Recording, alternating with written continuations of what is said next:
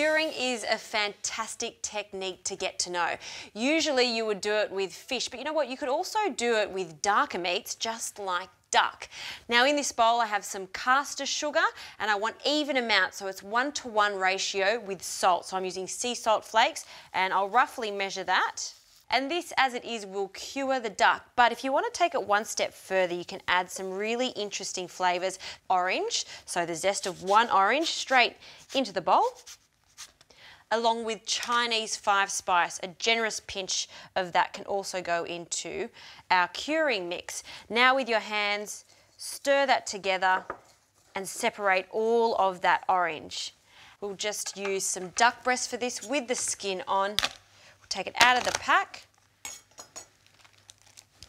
And now I'll get two large pieces of cling film and this is just going to help it cure for longer.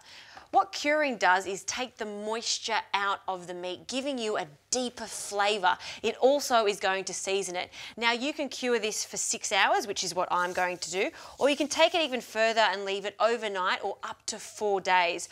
Obviously, the longer you cure it, the more moisture is going to come out and the firmer the meat is going to be. And so now I'm just covering it completely with the salt mixture. So on the bottom and then on the top, so it's completely covered. Press down into it and just form a little mound and then cover it nice and tightly with the cling wrap. And this now just goes onto a tray. I'm going to do the second one and then it goes into the fridge to cure.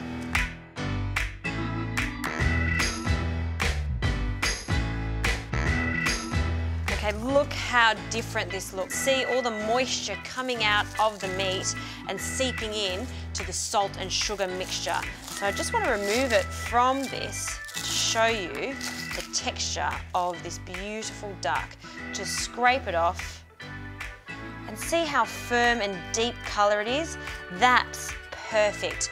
Then what I do is simply rinse it off, pat it dry, and it's ready for frying, and then you can finish it off in the oven for about seven to eight minutes at 180 degrees.